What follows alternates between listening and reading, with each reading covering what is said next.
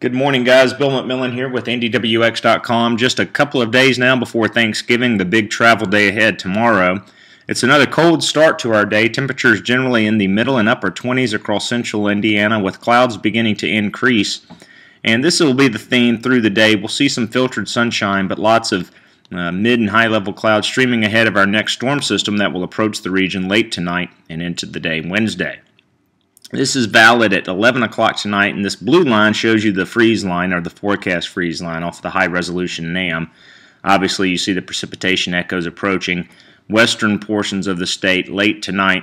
Continuing to advance this forward will show that showers arrive into central Indiana during the pre dawn hours Wednesday, somewhere probably between 1 and 3 o'clock Wednesday morning.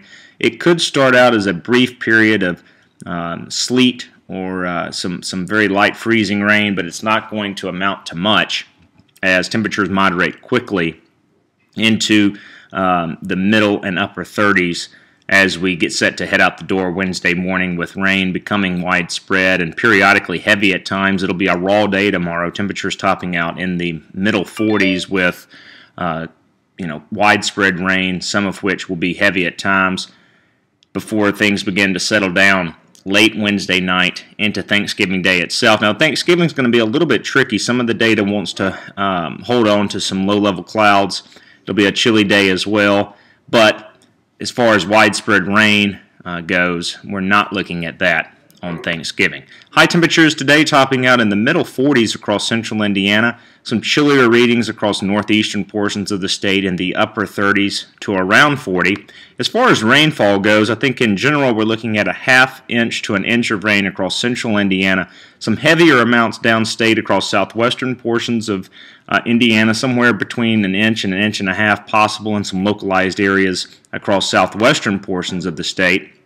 And then as we look at forecast highs on Wednesday, we'll put this into motion and show you that we're going to top out uh, generally in the uh, lower to middle 40s across central Indiana. And when you factor in the uh, the, the, the rain and uh, low clouds, it'll be a raw day, no doubt about it, tomorrow.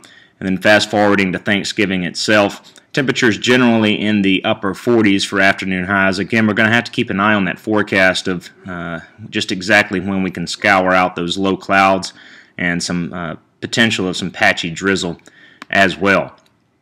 We will turn colder as we wrap up the work week for Black Friday shoppers. Uh, temperatures trending colder. Uh, a sprinkle not out of the question either as we go through the day Friday, but all in all, dry conditions remain. And then the big focus, guys, as we move into the longer term to open up the month of December is the potential of a winter storm that will impact portions of the Midwest and Ohio Valley.